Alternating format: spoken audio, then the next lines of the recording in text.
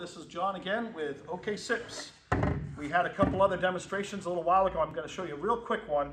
This is the window that we cut out of our three and a half inch wall. It's three feet by five feet. Everybody, when they see our panels in person, for some reason, they're just compelled to whack them with a hammer. They want to see this impact resistant.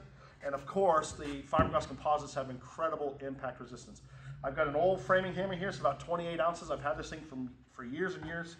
I'm just going to take a couple of shots at our panel just to demonstrate the incredible strength that they have right in the center. Here we go. It's one good hard one. You can hear that echoing through our shop here. We really hit that quite hard, as you can tell.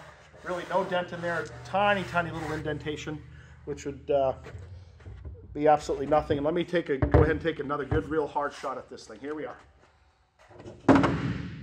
And that uh, that's pretty much it. That shows you the incredible impact resistance that we have with our panel.